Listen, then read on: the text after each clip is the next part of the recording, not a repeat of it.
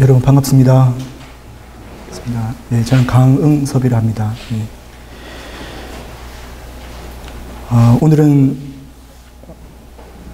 성경론에서 성경은 어떻게 읽어야 하는가라는 어, 제목으로 여러분들과 함께 어, 생각해 보도록 하겠습니다. 오늘은 교재가 여러분들이 지금 구입하신 책을 가지고 함께 나누게 되었습니다. 예. 어, 그래서 제가 이 책을 그냥 내용 그대로 읽어가면서 설명하도록 하겠습니다. 왜냐하면 어, 예, 그렇게 해야지 좀 더 구체적인 논의를 함께 할 수 있다고 생각합니다. 예. 교장이 조금 큰 소리로. 네. 그러면 교재 246페이지부터 제가 읽으면서 설명을 해드리도록 하겠습니다.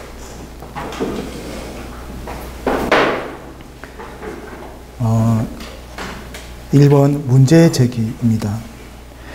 어, 신앙을 갖게 되면서 일 가운데 어, 기본적인 것이 여럿이 있을 텐데요. 그 가운데 성경을 1년 일은 신앙인이 평생 해야 하는 가장 기본적인 사항이라고 말할 수 있을 것입니다. 이는 매우 어, 설레고 도전하고 싶은 일이지만 선뜻 이뤄내기는 어렵고 힘든 일이라고 생각됩니다. 어, 그렇기에 성경 읽기를 돕는 목회자 역할은 매우 중요하다고 봅니다. 성도에게 하나님의 말씀을 읽도록 권하는 목회자는 간단한 가이드라인을 제시를 하게 됩니다. 가령 성경이 이제 기록이 되고 편집되어 우리가 한글로 읽을 수 있게 된 과정을 설명하기도 하고 성경의 내용이 어, 과학적 사실이나 과학적 진실과 어떤 연관이 있는지에 대해서도 언급할 것입니다. 가끔은 이제 성경이 어, 자기 개발이나 리더십과 어떤 관련이 있는지에 대해서 질문하는 성도에게 답도 해야 될 것입니다.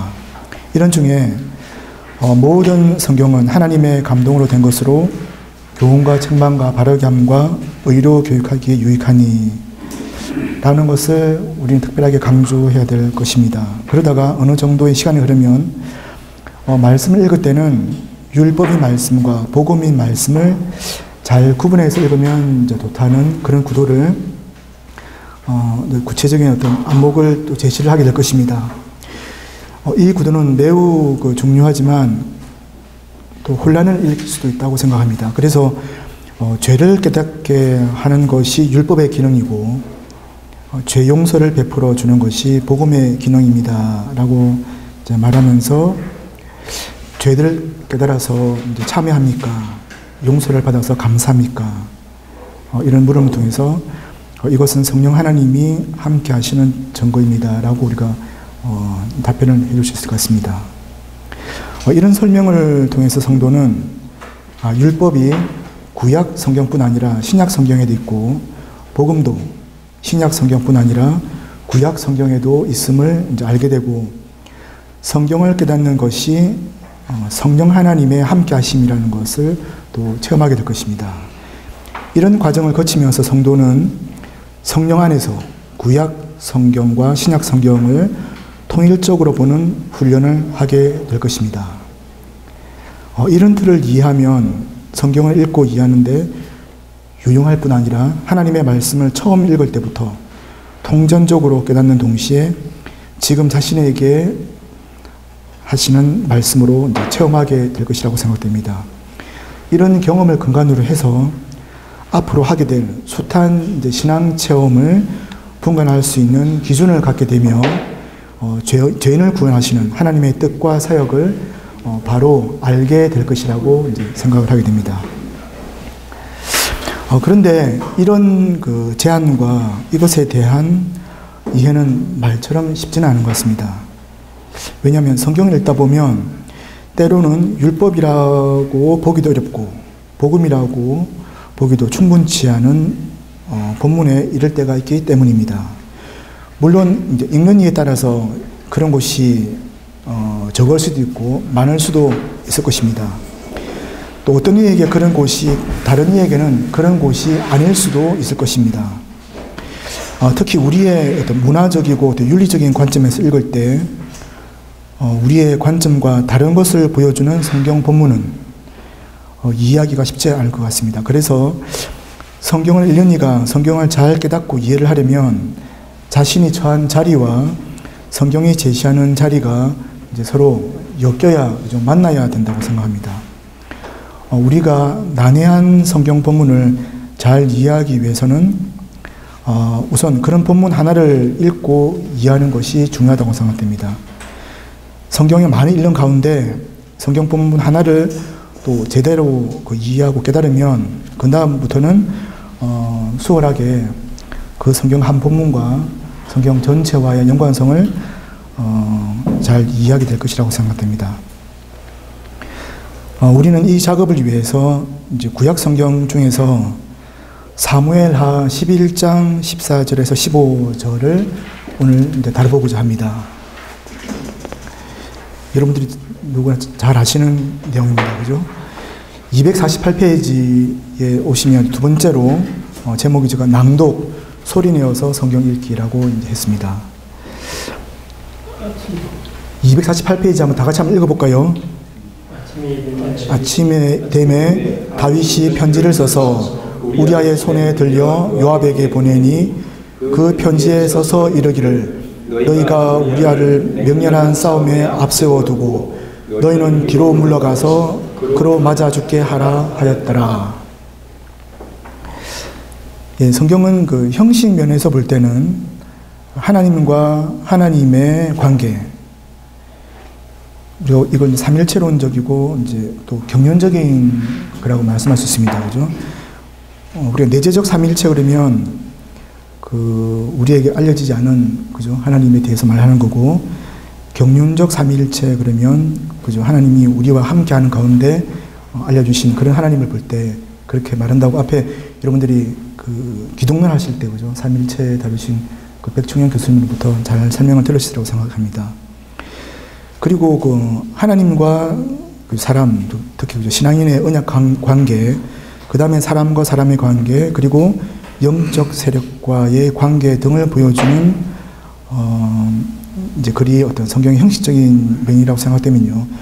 내용 면에서 볼 때는 하나님이 제시한 내용에 대해서 율법과 복음에 대해서 하나님이 행하시는 것과 사람이 행한 것 그리고 영적 세력이 행한 것을 담은 글이 우리가 성경의 어떤 내적인 내용이다라고 볼 수 있다고 생각합니다. 네, 그래서 성경의 형식과 내용에 관해서 주의 깊게 관찰하는 것이 중요합니다. 그것의 시작은 성경을 소리 내어 이런 것, 즉, 즉 낭독이라고 이제 생각을 합니다. 손으로 써보는 것도 좋지만 우선 소리 내어 읽고 또 읽어보는 것이 좋다고 생각됩니다. 그래서 우선 위의 구절을 몇 번 읽어보기를 이제 권합니다. 이게 사무엘 하 11장 전체를 소리를 내어서 몇 번 읽어보는 게 참 좋다고 생각합니다. 예. 이 낭독이라는 게 우리가 그 한문 문화권에 있기 때문에 경전을 낭독을 했지 않습니까? 저는 그래서 이 운율 있게 어떤 글을 읽어 나가는 게 참 좋다고 생각을 합니다. 근데 우리가 이제 개신교가 특히 그 이런 운율적인 것들을 많이 저는 잃었다고 생각을 합니다. 어쩌면 가, 가톨릭만 해도 그 예배 이제 미사를 집전하시는 신부님이 굉장히 운율 있는 이런 톤으로 그죠 그런 미사를 집전하는 걸 제가 보고 굉장히 어 뭔가 모르는 그런 것들을 감동을 많이 느낀 적이 있는데 개신교도 이렇게 막 소리 막 지른다기보다도 그렇지 않습니까? 굉장히 이렇게 그죠 울림이 있는 그런 낭독을 전통적인 우리 한국인의 심성에 맞는 낭독을 한다 그러면 굉장히 좋지 않을까라고 생각을 해봤습니다. 그래서 우리가 성경 읽다 보면 저절로 이렇게 운율에 따라서 그죠. 요즘 젊은이들 말하는 랩이라고 하지 않습니까? 그죠? 그런 것처럼 그런 게 되면 우리 영혼 가운데 굉장히 우선 뭔가 하나님 말씀이 우리를 타치 않을까 그렇게 생각합니다. 그래서 낭독, 소리 내어서 성경 읽는 게 참 중요하다고 저는 생각을 합니다. 그래서 우리가 소리 내어 함께 읽은 사무엘하 11장 14절의 형식은 한번 보시면요. 그죠? 편지를 보내는 사람, 편지를 배달하는 사람, 그리고 편지를 받는 사람, 그리고 편지 그 자체를 포함하고 있는 독특한 구절입니다. 우리가 읽은 두 구절만 해도요. 그렇게 이 구절을 읽는 우리는 왜 다윗이 편지를 썼고 그 내용은 무엇인지 어, 편지의 작성자가 누구이며 수신자가 누구인지를 어, 다시금 질문하게 됩니다. 어, 요압의 관점에서 볼 때 다윗이 쓴 편지는 어떤 의미를 담고 있는가? 그리고 우리아의 관점에서 볼 때는 또 어떠한가? 글을 쓴 다윗의 관점에서는 그리고 하나님의 관점에서는 이 글을 읽는 우리의 관점에서는 이제 어떠한지 어, 질문을 하게 됩니다. 그래서 이런 질문에 어, 답에 접근하기 위해서는 어, 본문 이전과 그죠 본문 이후를 어, 좀더 읽어야지 내용을 알 수 있다고 생각합니다. 즉 사무엘하 11장 초반부터 읽으면 다윗이 편지를 쓴 이유에 대해서 알 수 있을 것 같기도 합니다. 그렇지만 어, 사무엘 하 10장, 9장, 8장, 7장으로 그슬라 어, 그슬 올라가서 읽다 보면 왜 다윗이 이런 편지를 써야 했는지 이해가 되지 않을 수가 있습니다. 어, 왜냐하면 그 사무엘하 10장, 9장, 8장, 7장 읽다 보면 다윗은 아주 신앙적이고 통이 큰 인물이었지 않습니까? 그런 그가 왜 이런 일을 하게 되었는지 도무지 이해가 쉽지 않아 보입니다. 그래서 사무엘하 7장에서 나단은 계시를 통해 다윗이 하나님의 성전을 짓게 될 것이다라고 말했고 8장에서 다윗은 여러 전쟁에서 승리를 하여 조상들에게 약속된 땅을 회복하기에 이르고 9장에서는 요나단과의 우정에 이어 그의 아들 무비보셋을 극진히 보살피는 내용이 나옵니다. 10장에서는 암몬과 싸워서 이깁니다. 하지만 이제 반전이 일어납니다. 아직 종전은 아니었는데 11장에서 다윗은 출전하지 않았고 궁에 머물다가 바세바를 발견하고는 이를 꾸밉니다. 이렇게 성경의 범위를 넓게 보기도 하고 좁게 보기도 하면서 우리는 질문거리 하나를 발견하게 됩니다. 즉 하나님 앞에서 모든 일이 순조로웠고 이스라엘을 둘러싼 환경도 탄탄했던 유다 왕 다윗은 왜 출전을 하지 않았고 그런 중에 한 여인을 중심으로 하찮은 장꾀를 부리게 되었을까? 사무엘하 11장 14절에 나오는 세 사람에게 공통되는 것은 편지, 즉 글과 접촉한다는 것이지 않습니까? 어, 그 다음 구절인 15절에서 다윗은 자신의 생각을 짧은 문장으로 표현했고, 그 요압은 그 글의 의미를 파악하여 우리아에게 전달했고, 우리아는 그 의도를 성취했습니다. 즉 14절은 어찌 보면 형식적인 면인 거죠. 물질적인 면, 편지라고 볼 수 있고요. 15절은 내용적인 면, 그 어떤 편지에 담긴 내용적인 면을 다루고 있는데, 어, 위에서 보았듯이 성경의 형식적인 측면과 내용적인 측면이 언어의 기반을 둔다면? 원문, 성서 원문으로 어, 성경을 읽는 것은 매우 중요해 보입니다. 그렇지만 이것과 함께 간과하지 말아야 할 것은 그러니까 언어의 본질이 무엇이며 언어의 기능이 무엇인가를 이제 이해한다, 이해하는 것이라고 생각합니다. 언어가 어디서 유리하여 어떤 기능을 하는지를 생각해 보면서 이 질문에 접근할 수 있다고 생각됩니다. 이런 언어의 그 본질과 기능에 대해서는 바울이 굉장히 많이 생각했던 것 같습니다. 그래서 의문의 죽은 것이라고 하는 말을 하지 않습니까? 예, 뒤에서 다루도록 하겠습니다. 이렇게 일단 성경을 소리내어서 읽으면 어, 그 언어가 가지고 있는 어떤 것이 우리에게 잘 전달이 되고 어, 그걸 통해서 우리가 여러 가지를 질문을 받게 된다고 생각합니다. 어, 그러면 이제 세 번째 이어서 사람의 언어로 엮인 하나님의 말씀이라는 부분을 보도록 하겠습니다. 창세기 1장 26절은 그 하나님의 형상을 따라 그 모양대로 사람이 만들어졌다고 하고 또 장세기 2장 7절은 생기를 불어넣어 생명이 사람이 되었다라고 말을 하고 있습니다. 어, 이것은 사람 창조에서 어떤 형식적인 측면이라고 볼 수 있습니다.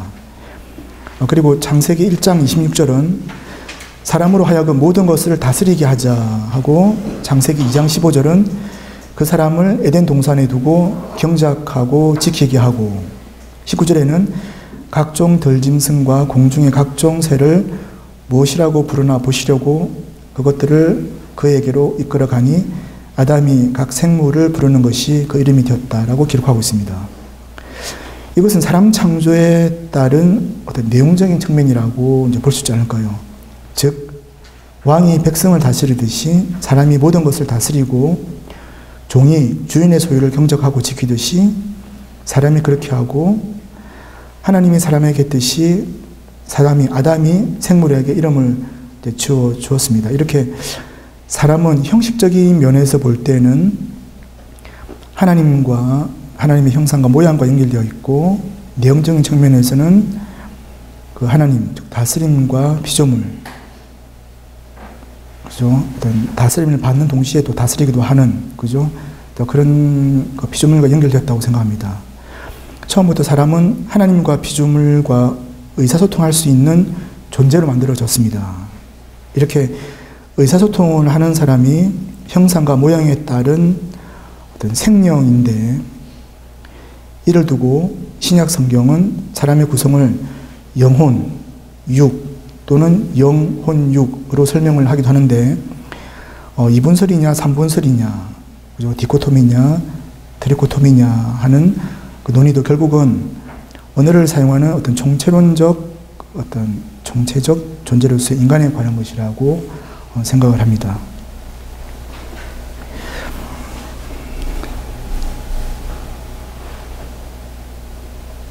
성경뿐 아니라 철학과 의학도 육체와 정신의 이어지는 관계에 대해서 논의를 하고 있고요. 이것을 두고 우리가 정신, 신체, 상관, 어, 사이코소마라고 해서 예, 그렇게 말을 요즘 하고 있는 것 같습니다. 이런 흐름에 속해 있는 어떤 정신 분석학은 사람의 정신을 무의식, 전의식, 의식으로 설명하다가 아, 모든 것이 이제 무의식이구나라는 그런 기반 하에 뭐 이드, 자아, 초자아 이런 식으로 또 설명을 하고 있습니다. 프로이트 이론이죠, 그죠? 그래서 이런 관점에서 보면 글을 쓰는 사람의 무의식 작용에서 어, 글이란 글을 쓰는 사람의 무의식 작용에서 나오고 이러한 글은 다시금 글을 읽는 사람의 무의식적인 작용을 통해서 읽힌다고 이렇게 보고 있습니다.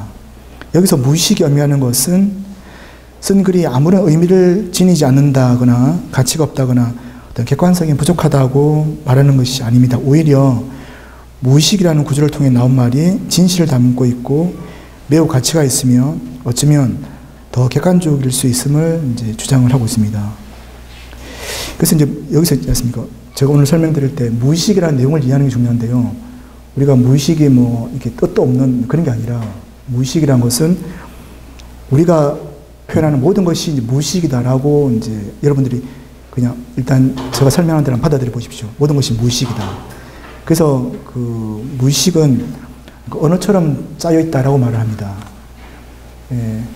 그래서 언어처럼 짜여 있는 모든 것은 무의식이다라는 어떤 그런 그냥 명제하에서 설명을 듣다 보면 아마 그냥 그 오늘 제가 설명드리는 것이 좀 이해가 쉽지 않을까 생각됩니다. 왜 전부 다 무의식이냐? 이것을 또, 또, 또 설명하다 보면 좀 길기 때문에 그냥 우리가 말하는 모든 것이 무의식이다. 예. 이 무의식이라는 것은 뭐 의미가 없다든지 뭐 가치가 없다든지 뭐 객관성이 없다든지 그런 게 아니라 오히려 있지 않습니까? 무의식이라는 것이 것으로 이제 표현할 때 어, 오히려 그 많은 것들이 더 설명을 되어지기 때문에 이제 그렇습니다. 나중에 또 아마 질문을 통해서 한번 그건 또 생각해 보도록 하겠습니다. 251페이지에 오셔서요. 다윗이 쓴 이제 편지의 내용은 너희가 우리아를 명령한 싸움에 앞세워 두고 너희는 뒤로 물러가서 그로 맞아 죽게 하라는 내용이지 않습니까? 이 글 내용의 진실이 드러나지 않는 한 다윗은 자신의 죄 앞에 서서 회개할 기회를 얻지 못한다고 생각합니다. 이 글의 진실은 요압에게도 그죠? 우리아에게도 수많은 다윗의 부하에게도 가려져 있습니다. 요압은 이 글을 명장 다윗의 병법으로 받아들였습니다. 그랬기에 실제로 전투에서 그 병법대로 이제 그죠 지시하고 행동했죠. 요압은 자신이 병법대로 했다는 것을 증언하기 위해서 다윗에게 사자를 보내어서 또 보고하기도 합니다. 이것이 상관에 대한 부하의 도리라고 믿었습니다. 부하는 이러한 관점에서 상관의 편지를 읽고 이해를 했습니다. 우리야 또한 그 명장 다윗의 부하답게 충성을 다해서 명장 다윗의 병법에 순종을 했습니다. 그 결과 편지의 내용대로 자신의 죽음을 성취를 했습니다. 이런 방식으로 다윗과 신하들 사이에 소통이 이루어졌습니다. 어쩌면 이게 소통이 아닌데, 그죠? 소통이 이루어졌습니다, 이게. 그런데 이 소통은 어떤 방식의 소통이었는가? 이 소통은 무의식끼리의 소통이라고 볼 수가 있습니다. 즉, 무의식의 작용으로 쓴 글이 무의식의 작용으로 읽힌다는 것. 다윗과 부하들 사이에 무의식의 소통이 이루어진 것이라고 볼 수 있습니다. 그러나 여기서 말하는 소통은 상호 간의 유기적인 소통이 아니라 단절된 소통입니다. 글을, 글을 쓴 다윗의 의도와 그를 이해한 요압의 의도가 다릅니다. 다윗의 의도를 담은 글을 낭독하는 요압의 의도와 이 낭독을 듣고 실천하는 우리아의 의도가 다릅니다. 그리고 또한 이 글을 활용하시는 하나님의 의도가 다릅니다. 성경은 이것을 담고 있습니다. 어, 성경을 읽는 우리는 하나님이 어떤 의도에서 이 이야기를 이 위치에 두었는지, 이 본문은 성경 전체와의 관계에서 볼 때, 그리고 율법의 관점과 복음의 관점에서 볼 때 어떻게 읽어야 되는지 우리는 어, 질문하게 됩니다. 252페이지로 넘어가서요. 우리의 정신은 그 옷감이 시줄과 날줄로 교차되어서 짜이듯이 어, 환유의 축과 은유의 축이라는 언어 활동으로 어, 짜인다고 정신분석가들은 이야기하고 있습니다. 즉, 이 두 축으로 인해서 우리의 정신줄이 형성이 된다는 겁니다. 어, 이건 이제 뭐, 야곱선이라는 언어학자가 또 한 이야기이기도 합니다. 사람이 말을 한다는 것은 누에 고치에서 실이 나오듯이 어, 정신에서 정신줄이 흘러나온다는 것과 같습니다. 여기서 정신줄이란 것은 우리가 이제 뭐 언어학적으로 말해서 기표라고 표현되는데요. 어, 기표라는 것은 이제 소리를 이제 말을 하고요. 그 옛날 말로는 그 능기라고 이렇게 이야기를 합니다. 능기. 말하는 사람은 무수한 기표들, 정신줄을 이제 내뱉습니다. 그래서 말하는 사람은 기표의 종합이다. 그죠? 정신줄의 종합이다라고 이렇게 말을 할 수 있습니다. 말이 곧 그 사람이고 이제 주체라고 이제 보는 것입니다. 이렇게 사람의 언어로 엮인 하나님의 말씀을 언어 활동처럼 짜여 있다라고 이제 볼 수가 있을 것입니다.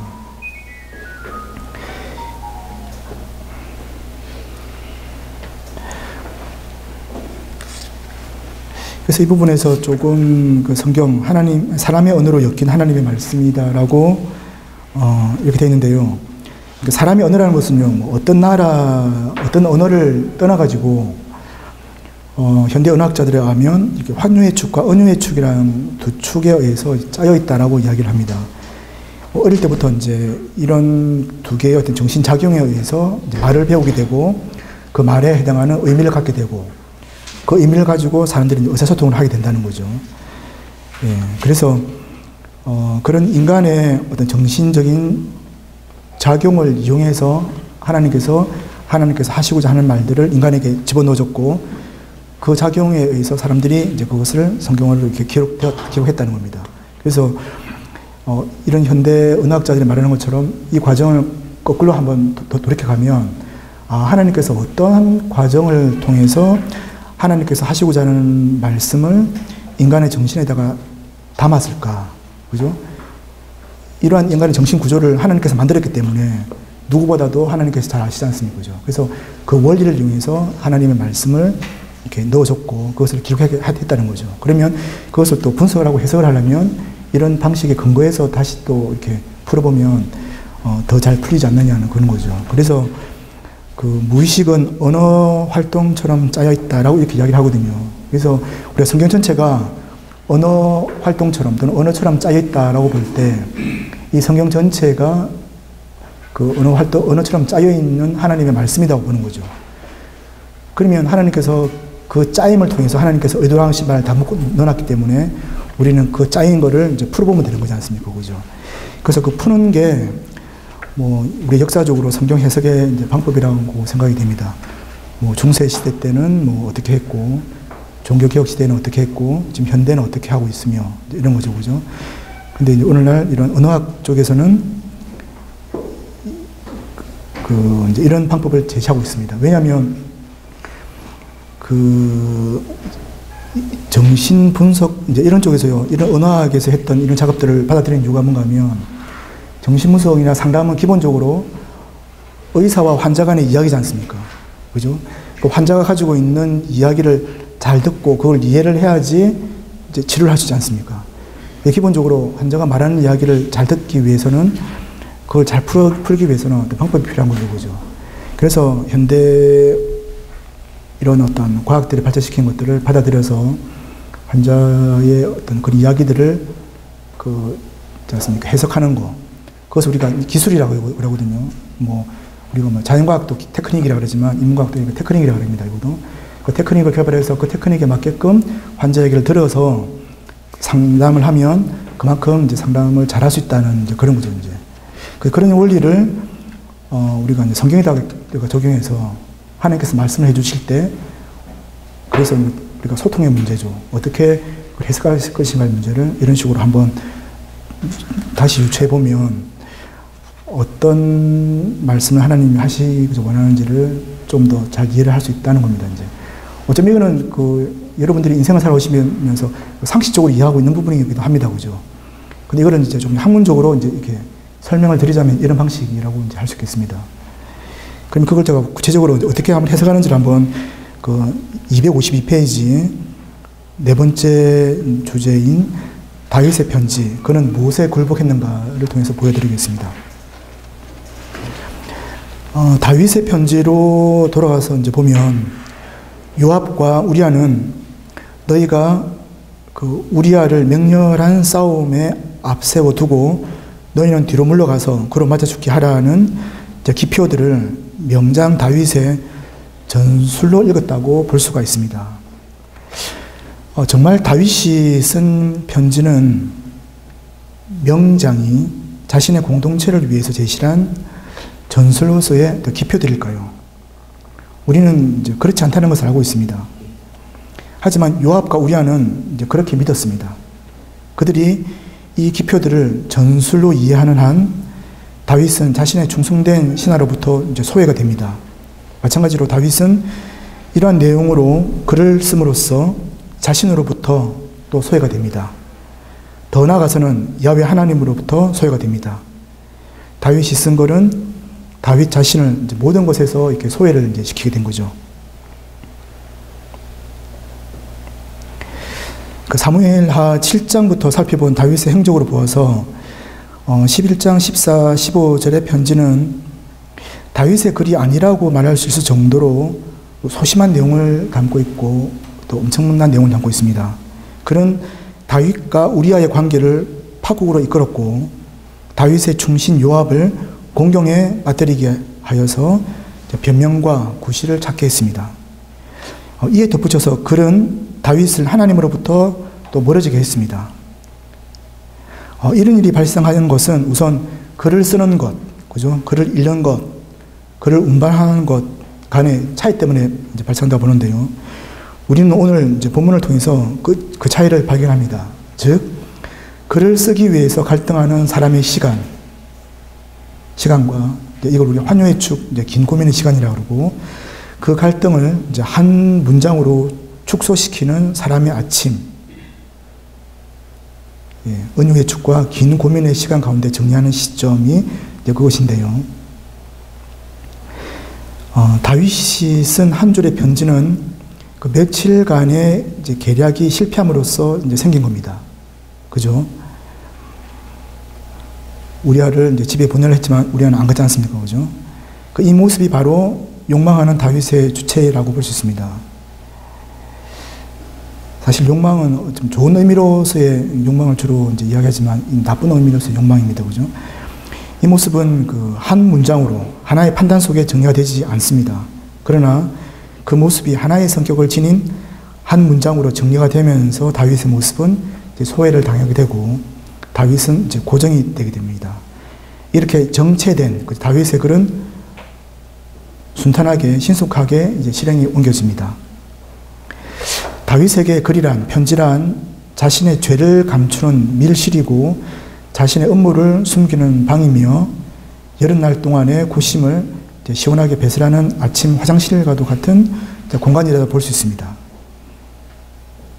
요압에게 글이란 편지란 왕의 전략이 담긴 용병술이고 약속된 땅 대부분을 점령한 다윗의 계속되는 성과를 담은 지시사항이며 곧 병법이라고 이제 요압은 이해, 이해했고 또 우리아는 우리아에게 글이란 편지란 전승을 위한 전술이 담긴 햄찬 행보다. 즉 글을 쓰니 글을 읽으니 글을 운반하는 이는 이렇게 서로 다른 의도를 갖게 된 겁니다. 글을 읽는 자로서 요압에게 글이란 충성을 보일 수 있는 기회고요. 하지만 그는 어, 글의 다중성도 모르고 복잡 미한 인간을 모르는 어, 장군일지도 모릅니다. 예. 단지 칼을 휘두르는 거죠. 장군답게 일사일의를 받아들일 뿐입니다. 그러니까 하나의 낱말에는 하나의 뜻만 있다는 거죠. 그죠? 우리가 사전에 보면 하나의 낱말의 뜻이 많지 않습니까? 그죠? 그렇지만 그게 뭐 언유로 상될 수도 있고 많은데, 음. 결국 충성된 군인이었지만 다윗을 소외로부터 구해내는 선지자는 되지 못했습니다. 그럼 여기서 좀 더 나가볼까요, 그러면? 그 다윗이 쓴 글은요, 우리가 알듯이 사사로운 욕정을 담고 있지 않습니까? 다윗은 자신의 욕정을 이제 편지에 담았지만, 그 요압도, 우리아도 그 욕정을 알아차지 못했습니다. 다윗이 자신의 욕정을 감추고자 했다면, 글을 쓰지 않았으면 되는데, 그는 자신의 욕정을 감추기 위해서 글을 썼습니다. 우리가 이런 것을 우리가 아이러니라고 하지 않습니까? 아이러니다. 하나의 사건에 전혀 다른 두 의미를 담은 아이러니 구조를 통해 보면 다윗은 분열된 모습을 드러내고 있습니다. 자신의 건정함을 지키려고 하지만 그것과는 정반대의 길로 멀어져만 가는 거죠. 왜 그가 이런 모습을 하게 되었을까? 사람의 정신을 이렇게 혼미하게 만드는 것은 누구인가?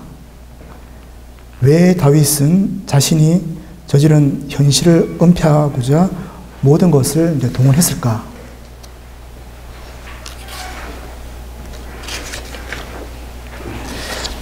어, 편지의 내용, 이제 254페이지입니다. 편지의 내용이 일정 부분 다윗 자신의 어떤 탐욕을 감추지만 그것을 더 감쪽같이 감추는 것은 편지 전달 방식이었습니다. 다윗은 아주 대범한 방법을 지시했죠. 즉, 우리아로 하여금 자신의 사망을 직접 운반하도록 한 것이었습니다. 이는 매우 잔인한 전략이었다고 봅니다. 악해질 수 있을 만큼 악해진 다윗의 마음이 담긴 지시 방법이라고 볼 수 있습니다. 그 다윗이 편지 봉, 아, 요압이 편지 봉투를 열고 너희가 우리아를 맹렬한 싸움에 앞세워두고 너희는 뒤로 물러가서 그걸 맞아 죽게 하라를 읽을 때 그죠? 요압은 어떻게 이해를 했을까요? 뭐 우선적으로 그는 너희가 우리아를 맹렬한 싸움에 앞서 두고를 확대해서 보았다고 저는 생각합니다. 그리고 그 이하의 내용인 너희는 뒤로 물러가서 그를 맞아 죽게 하라를 그로 하여금 성전하다가 죽을 수 있는 기회를 주라 정도로 읽었다고 볼 수 있을 것입니다. 그 전사, 전쟁에서 죽는다는 것, 것은 장군에게 요청되는 미덕과도 같은 것이기에 다윗의 편지는 전술가로서 다윗이 전사자가 될 장군 우리아에게 보내는 신뢰라고 요압은 이해를 했다고 이제 생각합니다. 그 요압에게 다윗의 편지는 다윗의 욕정을 가리는 덮개로 이해됐다고 볼 수 있습니다. 이는 요압이 지금껏 보아온 다윗에 물든 물들어 있는 상태이기 때문에 자론, 자유로운 것이었다고 생각됩니다. 전쟁에 나가 있는 요압은 왕궁에서 바세바와 나눈 다윗의 일을 알지 못했습니다. 그는 단지 다윗의 병법에 따른 요구를 편지에 쓸 것뿐입니다. 요압의 상식으로는 병법에는 사사로운 감정이나 욕정이 개입되어서는 안 됩니다. 병법이 추구하는 것은 오직 성리입니다. 그러나 다윗은 병법에 자신을 용적을 개입시켰습니다. 그래서 병법으로서 편지는 병, 어, 어, 어 병법으로서 편지, 그죠? 병법을 그 사리 사역에 이용한 그 다윗 장군을 고발함으로써 이 글을 읽는 우리로 하여금 우리의 모습을 돌이켜 보게 한다고 생각합니다. 왜 다윗은 전쟁의 종교를 이루기 위해서 출정하지 않고 궁에 머무르면서 사소한 역종에 사로잡히게 되었을까요? 어쩌면 아브라함에게 약속했던 그 모든 땅들을 이제 회복하는 어떤 그런 어, 최종 시점이었는데 이런 일을 했을까요? 그에게 어떤 무엇이 작용했다면 그것은 무엇이었을까요? 바세바와의 일은 음, 결과론적 이야기이지 원인은 아닐 것이라고 생각됩니다. 어, 승리의 목전에서 그의 발목을 잡은 것은 무엇이었을까요? 사무엘하 12장에서 나단이 다윗에게 제시한 악한 부자의 예에서 보듯이 다윗은 악한 왕으로서 취급되는데 그렇다면 다윗을 악으로 이끈 것은 무엇이었을까요?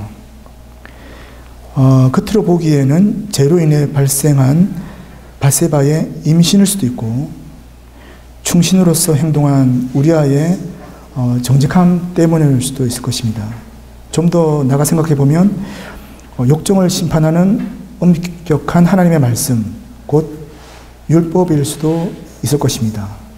본문에는 표현되어 있지 않지만 악한 영적 세력의 어떤 소행으로도 볼 수 있을 텐데요. 그 세력이 승리를 목전에 둔 다윗을 하여금 전쟁에 나가지 않고 궁에 머물르면서 율법을 어기도록 힘으로 쳤을 수도 있습니다. 음, 다시 말하면 않습니까? 이 발세와 이런 그, 거를 저지른 다음에 다윗이 왜 불안했을까? 그죠? 다시 보면, 254페이지 밑에 보면, 발세바가 임신을 하기 때문에 그렇게 될 수도 있고요. 여러분 보시면 그 다윗이 그 바세바를 데려오는 과정도 그냥 상세하게 나오지 않습니까? 성경이 그죠? 바세바가 그, 됐습니까? 달거리를 하기 때문에 관계를 갖지 않습니다. 예, 끝날 때까지 기다립니다. 기다리고 관계를 갖죠, 그죠? 근데 우리가 볼 때 임신이 되려면, 그죠? 곧바로 생기지 않습, 않습니까, 그죠? 달걀 끝난 다음에 어느 정도 기간이 지나야 생기지 않습니까? 그러면 어떤 그 이후에 어떤 지속적인 어떤 관계를 가졌으면 볼수 있습니다. 그 후에 임신이 확인되는 또 시점이 또 있겠죠, 그죠? 굉장히 이제 그 이런 그 다수일적인 이런 걸 통해서 자신의 행동 때문에 죄책감이 느껴서 그럴 수도 있고요. 또 다르게는 그걸 이제 우리아의 아이로 이렇게 하려고 했는데 우리아가 너무 충성스러운 모습을 보이니까 자기의 옛 모습을 돌이키면서 어, 내가 정말 잘못했지만 돌이킬 수 없는 그죠? 회개하면 될 텐데 그게 안 되는 그래서 이제 우리 아를 죽여야 되겠다는 그죠? 좀 더 나갈 수 있고 그 다음 좀 더는 내가 저지른 일을 하나님 말씀에 비춰보니까 최소한 10계명에서 그죠? 하나님과의 관계 이후에 있는 인간의 관계에서 보면 다 범한 거잖아요. 그죠? 다 범한 겁니다, 이제. 그러니까 이거는 뭐 율법도 엄청나게 많이 범한 거고요. 예. 겉으로 보면 이렇게 이런 것 때문에 도저히 안 되겠다. 하나님과의 한 판을 벌려야 되겠다. 이제 결국은. 그죠? 그렇게 생각할 수 있습니다. 근데 이토록 다윗이 악해졌다는 것은 악, 아, 다윗 스스로 악해졌겠습니까? 그러면 외부의 어떤 악, 악의 세력이 다윗을 어떻게 하도록 행사를 했던 걸까요, 이제? 그죠? 우리가 성경 전체에서 우리가 오늘날도 그 우리가 어떤 악의 세력에 대한 이야기를 많이 하는데요. 예. 이런 것까지 우리가 포괄적으로 봐서 이 부분을 이해를 해야 될까? 그죠? 음. 다시 이제 본문, 본문으로 들어와서 읽어보면요. 어, 이것들을 보통 우리가 그, 뭐, 이런 상담 쪽에서는, 그 심리학 쪽에서는 초자의 기능이라고 하지 않습니까? 초자의 기능이라고 볼 수 있는 이러한 모든 것들은 다윗을 하나님 앞에 세우는 고발자와도 같습니다. 그래서 다윗은 불안했고, 그 불안을 해결하기 위해서 극단의 전술을 사용했다고 볼 수 있습니다. 바세바와 태중의 아기를 제거하는 일. 어쩌면 이게 제일 쉬울 수도 있습니다. 그죠? 그냥 바세바를 죽였으면 되는 거지 않습니까? 그죠? 그런데 우리아를 없애는 일에 몰두하며 할수록 다윗은 율법의 기능적인 측면을 벗어날 수 없었고 문제를 해결할 출구를 갖지 못했습니다. 이런 상황에서 다윗에게 중되는 것은 무엇이었을까? 창세기는 첫 부부가 하나님의 말씀을 어기는 과정을 잘 보여주는데요. 그 시작점이 내부가 아니라 외부라고 제시하고 있습니다. 단연코 하나님의 말씀에 근거했어야 하고 바세바 여인을 탐한 이후에도 그랬어야 하는 다윗이 끝까지 악을 행한 이유는 무엇인가? 그가 굴복한 것은 무엇에게인가? 이 문제를 해결할 때 비로소 뒤따라오는 다윗의 계략들을 이해할 수 있게 됩니다. 우리는 성경을 통해 하나님, 사람, 피조물 이외에 악한 영적 세력이 있다는 것을 알고 있습니다. 이것이 어떤 방식으로 하나님, 사람, 피조물의 관계에 개입하는지를 보게 됩니다. 우리가 이런 점을 다루고 이해하는 것은 쉽지는 않습니다. 하지만 우리가 이것을 간과하면 성경이 알려주는 것을 제대로 알 수가 없게 되는데요. 그렇기에 그리스도교는 줄곧 악의 출처가 무엇이며 어디인지 고민하면서 신정론이라는 영역을 추구하고 있고요. 그래서 오늘날도 어쩌면 그죠? 우리가 성경을 해석함에 있어서 하나님 삼일체 하나님의 어떤 경륜적 사역과 하나님과 인간의 관계, 그죠?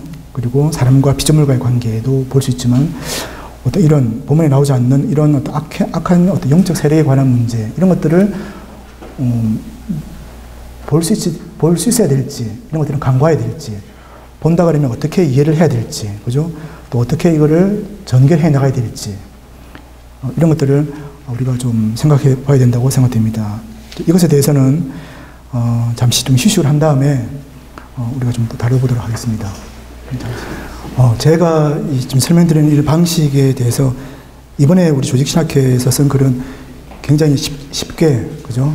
누구나 알 수 있게끔 이렇게 또 각주도 없애고 전문적인 용어도 없애고 이제 이렇게 이제 주로 저수를 하자 이제 그래서 했습니다. 그래서 조금 더 어, 이 분야의 전문적인 이제 그런 부분을 알고 싶으신 분들은 251페이지 밑에 보시면 그 여기 제가 쓴 정신분석학과 신학을 연결한 그 필자의 글이라고 되어 있거든요. 이런 글을 보시면 좀 더, 예, 조금 더 상세한 내용이 나오지 않을까 생각합니다. 255페이지 계속해서 보도록 하겠습니다.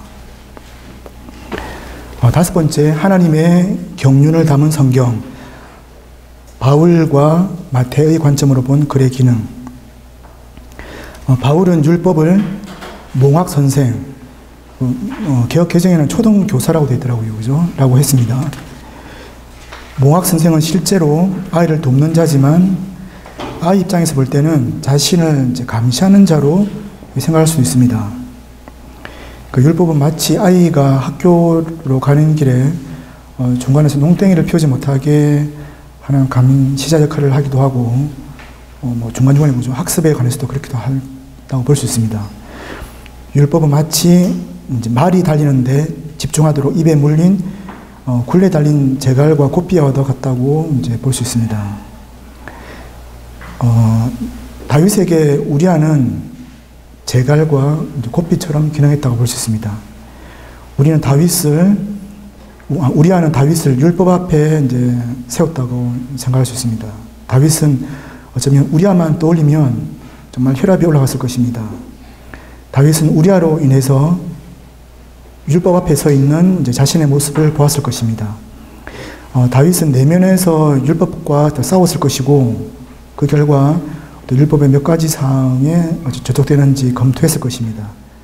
결국 그는 율법에 도전했다고 봅니다. 지금껏 수많은 전쟁에서 숱한 사람을 죽였는데 우리야쯤이야 하는 마음으로 또 율법에 대항하기로 결단했을 수도 있다고 봅니다. 바울은 율법의 기능을 우리를 그리스도에게로 인도하는 것이라고 했지만 다윗에게는 그 기능이 어, 적용되지 못했다고 생각됩니다. 다윗을 이제 하나님 앞에 서게 한 것은 악한 부자 비유를 제시한 선지자 다윗의 말이었지 않습니까? 예. 십계명에 견져 볼때 다윗은 살인, 그죠? 간임, 간음 그리고 어, 도둑질하지 말 것, 또한 이웃에게 거짓 증거와 탐내지 말 것, 이런 이것을 범했습니다. 그러니까 십계명의 6, 7, 8, 9, 10 항목의 글을 어긴 것이라고 볼 수 있습니다. 이 십계명 항목은 한편으로는 어, 다윗을 분열시키는데 이 글이 어, 다윗을 죄인이라고 고발하기 때문입니다.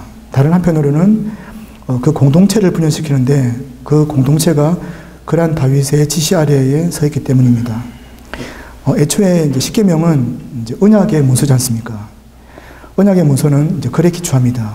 언약 내용이 어, 잘 지켜지려면 지켜지면 지켜지는 대로 어, 그렇지 못하면 못한 대로 어, 그죠? 그에 대한 어떤 대가가 따라오는데 언약 체결 이후에 체결자들은 십계명을 지킨다는 것이 만만치 않다는 것을 알게 되었습니다.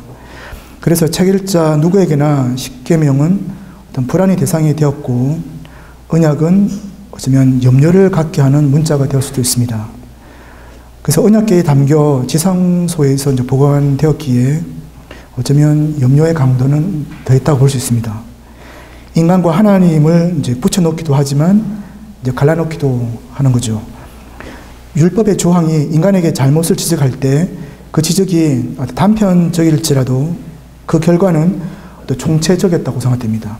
즉 사람이 단편적인 항목의 죄를 지적받는다고 해도 그 사람 전체가 어떤 죄인으로 지적받는 것과 같습니다. 그래서 어, 그 사람은 여기저기 도처에 어떤 구멍 뚫린 기름통과도 같다고 봅니다. 어, 그 통에다가 불을 가져다 가면 곧 폭발하는 거죠. 그래서 바울은 자신의 어떤 서신 도처에서 이러한 위험을 한 성격을 지닌 글을 고발하고 있다고 보는데요. 바울이 말하는 글, 문자는 의문에 해당하는 그라마지 않습니까?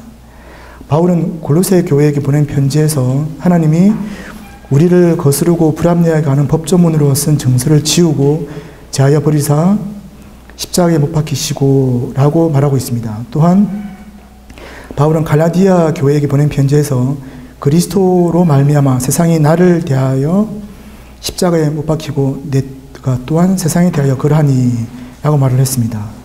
즉 다윗의 글이 십계명에 의해서 심판을 받았지만 십자가의 못은 율법의 문자와 글을 못 박았을 뿐 아니라 십자가에 달린 예수와 예수를 맨 나무 이 세상의 모든 사람과 세상을 모두 못 박았다고 말하고 있습니다. 다시 말해서 내 쪽에서 보면 세상에 못 박힌 거고 세상 쪽에서 보면 내가 못 박힌 겁니다. 그래서 음, 바울의 관점에서 보면 업무의 편지를 쓰고자 고심한 다윗, 그 다윗이 아침에 쓴 글, 이 글이 돌아다니면서 한 일, 이 모두가 못 박혔다는 것입니다. 이것이 바로 하나님의 말씀인 율법의 말씀, 율법의 기능이라고 생각이 됩니다. 어, 구약 성서 사무엘 하의 저자는 왜 10장, 그죠? 암문과의 싸움에서 이긴 그 10장에 이은 11장에 발세바와 우리아의 사건을 두었을까? 물론 뭐 그때 그 사건이 일어났기 때문에 뒀겠죠, 그죠? 사무엘 하의 저자는 어떤 영감을 받고 이 사건을 여기다가 둔 것일까? 그 의미가 뭐냐는 거죠. 그리는 무엇인지 고심했을 저자의 이런 의도를 파악한 이는 마태였다고 생각됩니다. 즉 마태는 다윗의 편지는 어떻게 읽어야 하는가 질문하고 어, 답을 구했다고 생각합니다. 지금 우리가 던지는 질문인 성경을 어떻게 읽어야 하는가에 대해서 마태는 예수님의 계보를 제시하면서 답을 합니다. 다윗은 우리아의 아내에게서 솔로몬을 낳고 야곱은 마리아의 남편 요셉을 낳았으니 마리아에게서 그리스도라 채는 예수가 나니라. 어, 그러니까 곧 오늘 본문의 글이 갖는 의미는 그죠? 예수님이 이 땅에 오시는 길을 예비한 사건과 연결됩니다. 이 말은 다윗의 행동이 좋았다고 말하는 것과는 무관합니다. 오히려 우리는 여기서 다윗이 품은 욕정을 활용하시는 하나님의 경륜을 볼 수 있다고 생각합니다. 못 박힌 이 세상은 또 완전히 구멍퉁숭이라고 바울은 갈라디아서 6장 14절 이하에서 말하고 있는 듯 한데요. 예수가 못 박힘으로 글도 함께 죽었다는 겁니다. 그러나 그 못의 흔적을 지닌 채 부활하신 예수님은 우리에게 또 다른 글을 남기셨습니다. 그 글은 전 인격을 다하여 하나님을 사랑하고 이웃을 사랑하라는 그런 내용으로 대변되는 건데요. 이 글 앞에 설 때, 나, 우리는 죽고 회개하고 변화된 인격이 조성이 됩니다. 이 글 앞에 서게 될 때, 다시 설 때, 예수님을 믿는 믿음이 점점 자라고 흔들리지 않는 인격을 갖게 됩니다. 우리는 어디에서나 글을 접하고 있습니다. 어떤 누가 쓴 글을 접하고 있습니다. 우리에게 세상은 글의 세상입니다. 우리 각자는 돌아다니는 글입니다. 이 점을 들어 바울은 신앙인은 그리스도의 편지라고까지 말을 했습니다. 요즘처럼 스마트폰이 일성화된 세상은 그죠? 글의 세상이지 않습니까? 디지털의 세상 또한 이제 글의 세상입니다. 물론 이미지도 글에 포함됩니다. 그죠? 이미지나 색상의 세상이기도 합니다. 새로운 이미지나 색상이 등장할 때마다 그것을 지칭하는 글이 새롭게 등장합니다. 그래서 세상은 글의 세상이다. 이런 시대에 글은 우리를 기쁘게도 하고 이제 힘들게도 합니다. 어, 글의 사용이 아주 그 제한적이었던 다윗의 시대에도 글은 율법의 기능을 했습니다. 글의 중요성이 더했던 바울의 시대에도 글은 그 기능을 회복하기 위해서 어, 죽어야만 했습니다. 어, 다윗 이후에 세 번의 천년을 맞으면서 글은 과학기술과 만나 세계화라는 공동체 형성에 참여하고 있습니다. 이 조직체는 언어 활동처럼 구조화되어 있습니다. 또한 못으로 박혀 있습니다. 시실과 날실이 만나는 지점에 못이 박힌다는 것은요, 우리의 정신줄에 못이 박혀 의미가 생성되지 않는다는 것일 수도 있고요. 이미 생성된 의미가 상실된다, 죽는다는 것일 수도 있고요. 또는 그곳에서 새로운 의미가 생긴다, 생성된다라고 볼 수도 있습니다. 이렇게 못 박힌 세상은 죽음, 소멸, 소생을 의미할 수가 있습니다. 이런 상황에서 우리가 못 박히고 세상이 못 박힌다는 것은 글 쓰는 우리가 못 박히고 우리가 쓴 글이 못 박히고 세상의 글들이 못 박힌다는 것이라고 말할 수 있을 것입니다. 이것이 바로 율법의 기능이라고 보여집니다. 어, 자신의 생각이 십자가에 못 박히도록 내어놓을 때 그것은 어, 회개요, 참회인데 거기에는 십자가의 고통, 십자가의 피가 있게 되고 부활의 생명과 성천의 희망을 어, 경험하게 될 것이라고 생각됩니다. 다윗도 나단의 악한 부자 비유를 듣고 자신의 악행에 못 박힘을 당했습니다. 그 결과 내가 여호와께 죄를 범하였노라 라고 죄를 자복했습니다. 어, 이상에서 이제 다뤄봤던 이 내용들을 저 이제 정리를 하면서 방안 제시와 함께 결론을 맺도록 하겠습니다. 어, 지금까지 보았듯이 우리가 성경을 읽을 때 뭐 무의식, 그죠? 전의식, 의식, 이드, 자, 조자라는 어, 뭐 또는 뭐 다양한 그죠? 뭐 사람 정신에 관계되는 수많은 이론들이 있다 할지라도 이런 사람의 정신 구조를 염두에 둘 수도 있고 뭐 언어 활동처럼 구조화된 무의식이나 기표의 고리들의 총체, 그러니까 기표의 고리들로 엮여 있는 어떤 사람들을 어, 생각할 수도 있습니다. 어, 신앙인이 이런 틀을 이용하여 성경을 묵상하고 해석하면서 하나님과 대화할 때 어떤 도움이 있을까 어, 두 가지를 생각해 봤는데요. 다시 말해서 저 오늘 성경을 어떻게 읽을 것이 어떻게 읽어야 하는가에서 제가 여러분들께 제시하는 내용이 어, 사람은 그 하나님께서 하나님의 형상을 따라 그 모양대로 그죠 그 흙으로 빚어서 생기를 부는 놓은 인간인데요.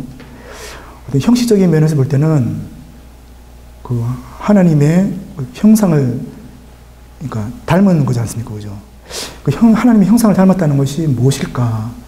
뭐 다양한 게 있겠지만 오늘 저는 여러분들에게 말씀드리고 싶은 것은 언어로 소통할 수 있는 형상을 하나님으로부터 받았다는 겁니다. 그렇기 때문에 처음부터 아담과 하나님이 이렇게 대화를 한 거지 않습니까? 그죠? 하나님과 인간이 대화할 수 있는 것이 형식이 바로 그 하나님의 형상이라고 생각합니다. 하나님과 인간이 대화할 수 있는 것. 그죠?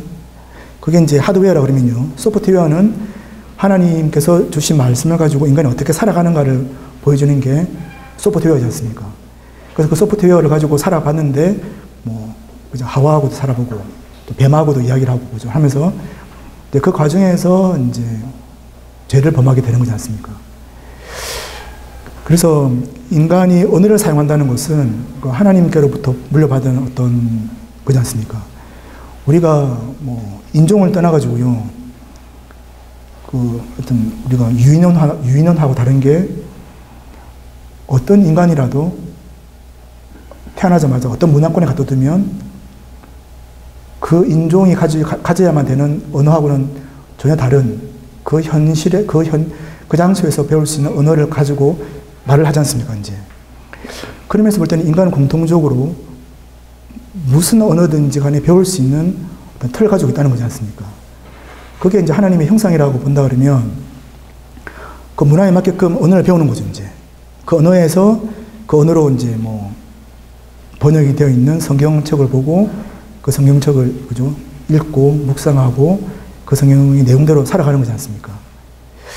그래서 언어의 형식과 언어의 내용에 관해서 이렇게 있는데 이것에 관해서는 뭐 인류가 글을 않습니까? 남기기 시작한 다음부터 계속해서 이 이론에 관해서는 지금까지 이야기를 해왔습니다.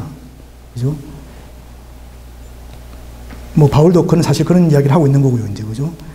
의문이라는 것은 이제 죽어야 되는 거다. 그럼 살아야 되는, 되는 것은 무엇인가? 그래서 우리가 창세기 2장 7절을 바울이 해석한 것이 고린도 전서 15장 45절 전후지 않습니까? 그죠? 우리가 그 생, 그 생기를 불어넣었더니 생명이 되었다는 것을 바울이 로마, 그 고린도 전서 15장 45절에서는 그 생명이 되었다는 것을 이제 사는 영이 되었다고 말을 하지 않습니까? 그죠? 그 이제 뭐 헬라어로 말하면 푸뉴마가 되었다 이렇게 이야기하는 거죠.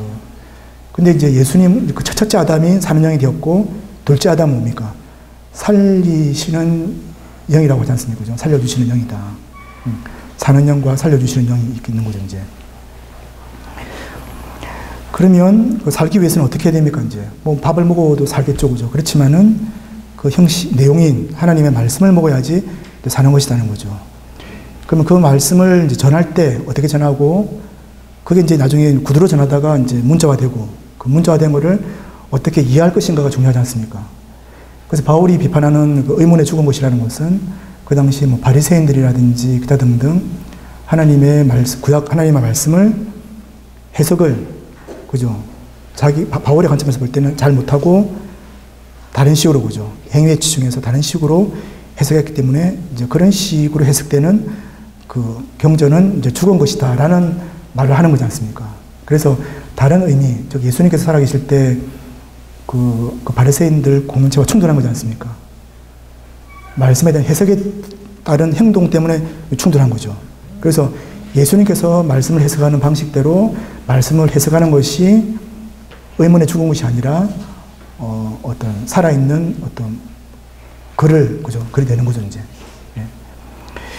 예. 근데 그 후에도 계속해서 시대가 변하고 그 환경이 변하고 문화가 변하고 하면서 문화에 따라서 이 성경을 어떻게 해석할 것인가가 끊임없이 끊임없이 문제되어 왔고 이제 오늘날 우리나라 같은 경우는 이제 우리가 그 가톨릭이 우리나라에 들어온 지는 이제 그죠 200년이 훨씬 넘었고요. 개신교가 들어온 지는 이제 뭐 100, 한 30년 정도가 지금 됐지 않습니까? 이럴 때 우리가 그 원어 그대로 원어 그대로의 성경을 이제 해석하고 그죠 받아들이고 그렇게 하는 과정이 있는데 이것을 우리나라 풍토에 맞게끔 어떻게 해석할 것인가, 그죠? 우리 문화에 맞게 어떻게 해석할 것인가 이런 것들이 우리 앞에 굉장히 큰 난점으로 지금 다가와 있는 거지 않습니까? 그러니까 성서 자체도 중요하고 우리의 문화도 중요하고 이 두 개를 엮어서 어떻게 해석할 것인가 이런 문제인데 아마 이런 거를 위해서 우리 지금 신학 교육 기관이 모두가 지금 여기에 총 매진해서 음, 하고 있는 것 같습니다. 그죠? 일선에서 우리가 성경을 해석하고 설교할 때도 이 두 개를 어떻게 엮어서 오늘날 우리에게 말씀하시는 하나님을 그죠? 성령님을 통해서 받는 그 하나님의 말씀을 전할 것인가. 그것을 우리가 고민하고 있다고 생각됩니다. 그래서 그 뭐 오늘날 이런 이론을 가지고 또 이렇게 그죠?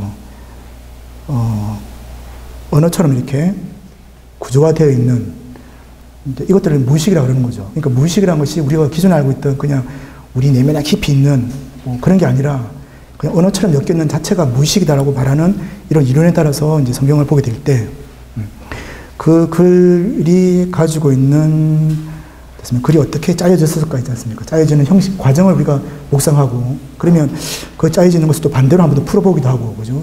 이런 과정을 통해서 정말 그 참 의도가 어디에 거래되어 있을까? 그런 거를 이제 밝히고자 하는 거죠. 이게 만약 상담에서요, 여러분들도 다 뭐, 목회 상담에 다 아시겠지만은, 상담을 받을 분들이 와서 이제 상담하는 분이 무슨 이야기를 하지 않습니까? 그죠? 그러면 이분이 가지고 있는 언어는 이거를 이제 상담하시는 분이 가지고 있는 언어하고 다르죠, 그죠? 다릅니다. 사전이 다른 거예요, 그죠? 그러니까 이분이 가지고 있는 사전을 이해를 해야지 이분이 말하는 것을 이해를 하고 도와줄 수 있는데 이분이 말하는 사전을 이분이 가지고 있는 사전을 맞춰서 그냥 해석을 하다 보면 이게 안 맞지 않습니까? 그죠? 예, 그런 거죠. 그래서 우리가 지금 성경을 읽을 때도 이 기본 원어라든지 이제 거기에 가장 뭐 사전이 있을 겁니다. 그죠? 이 단어는 이런 이런 의미를 가진다고. 그죠?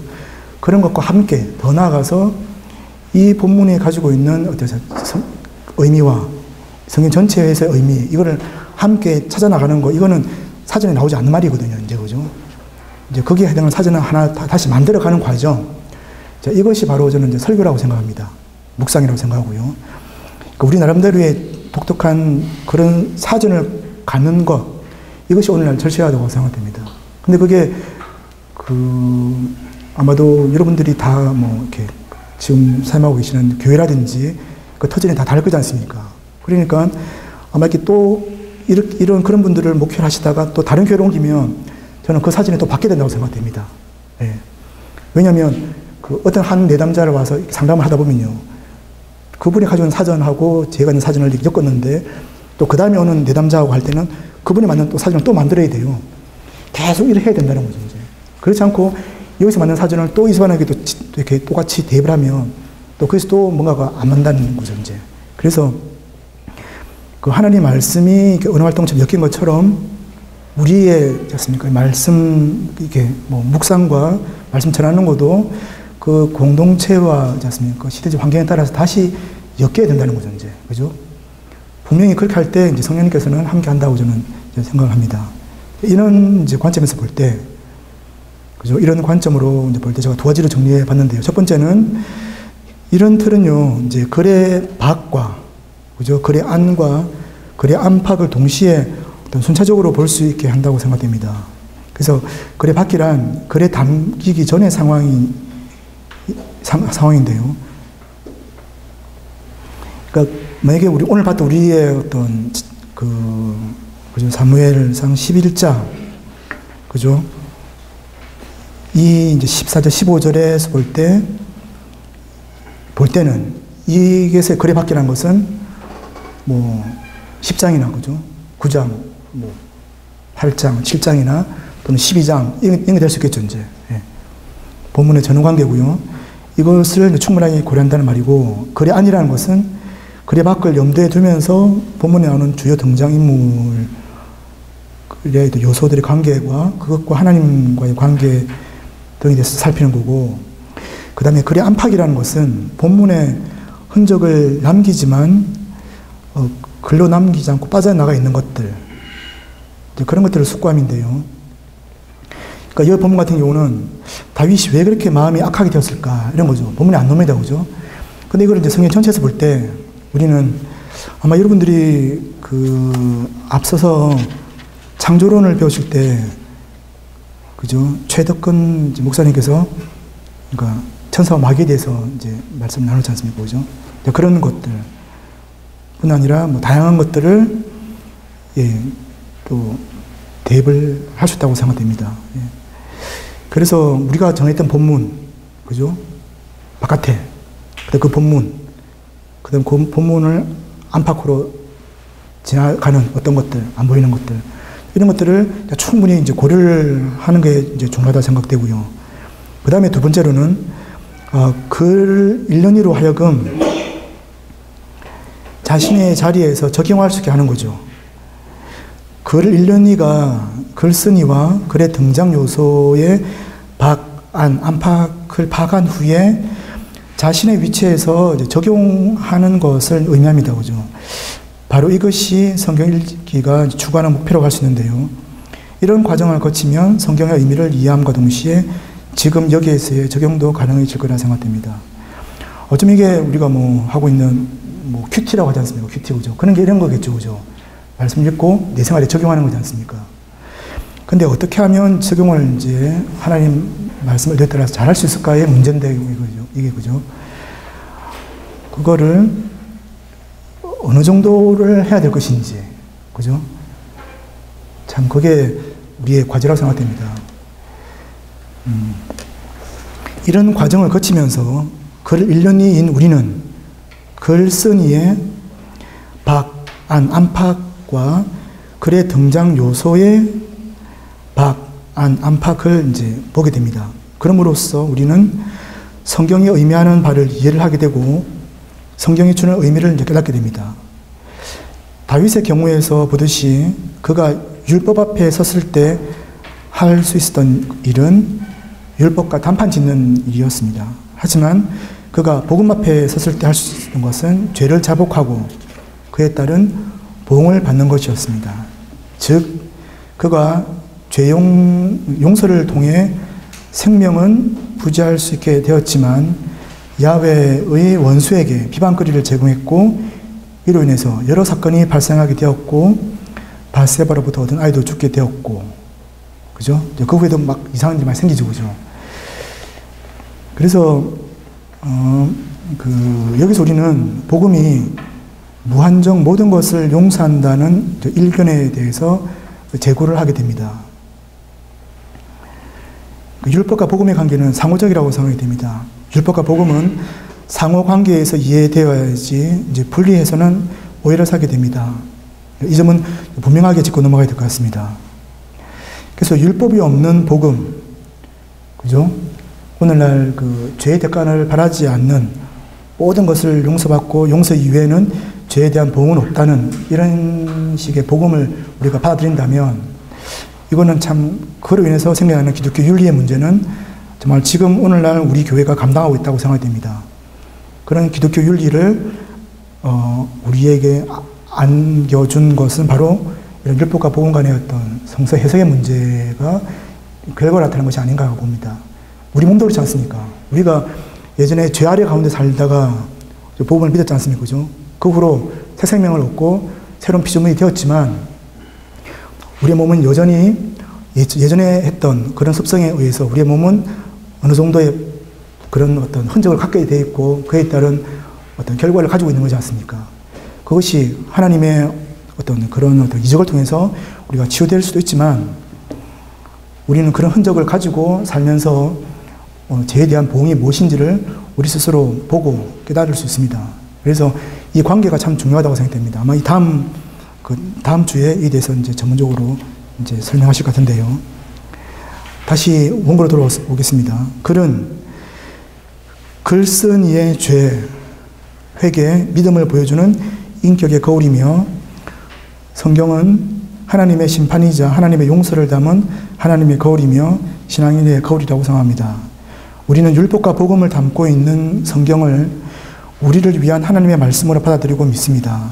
그래서 난해한 본문일수록 율법을 성취하신 예수 그리스도의 사역의 견주어 이함으로써 율법과 복음 간의 역동적인 관계를 보게 됩니다. 이를 통해서 죄인이 회개함으로 어렵다 칭함받고 성화와 영화의 길로 나간다는 것을 깨닫고 체험하게 됩니다.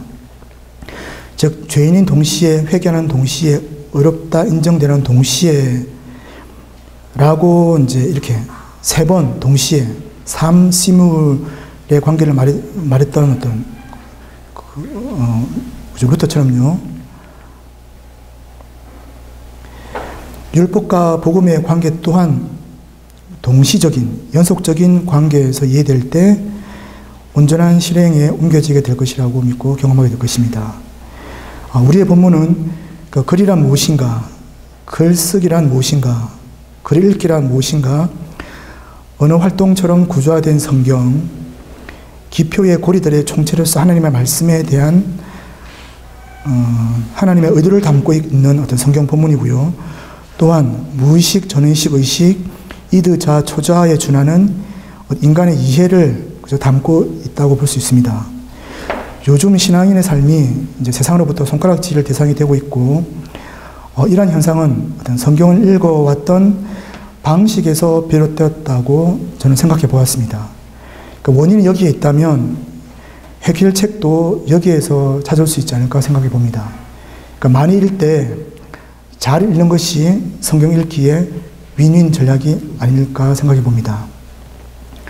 성경을 어떻게 읽고 이해를 해야 하는가라는 주제는 이제 다른 방식으로 성경을 읽어야 된다는 고민을 담고 있다고 이제 볼 수 있습니다. 그래서 이런 주제를 어, 조직신학회에서 제시했다고 볼 수 있습니다. 어, 목회자와 성도가 성경을 가까이 하되 새롭게 가까이 하려는 것은 종교개혁 때나 종교개혁 때 내걸었던 그죠? 신앙에서 성서로의 이행과 통한다고 봅니다. 종교개혁이 신, 성서에서 신앙이 아니라 신앙에서 성서로 갔다는 거죠. 음. 그러니까 새로운 관점, 그죠? 가톨릭에서 비롯되는 어떤 그런 부패의 관점에서 새 관점, 새 질문에서 성경을 통해서 실마리를 하나님의 뜻을 찾았다는 겁니다. 즉 성경을 새롭게 읽음으로 변화를 받아 종교개혁이 시작되었다는 것을 되새길 때 어, 지금 여기서 우리가 어떻게 성경을 읽고 이해할 것인가를 상고하는 것은 어, 어, 강조해도 지나치지 않다고 보고 어, 이런 관점으로 성경을 읽으면 좀 도움이 되지 않을까 제가 제시를 해봤습니다. 그럼 여기 대해서 혹시 여러분들이 하시고 싶은 말씀 있으면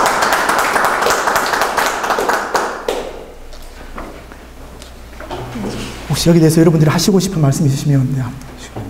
교수님이 아주 정확하게 잘 들었습니다. 근데 이제 강의를 들으면서 네. 계속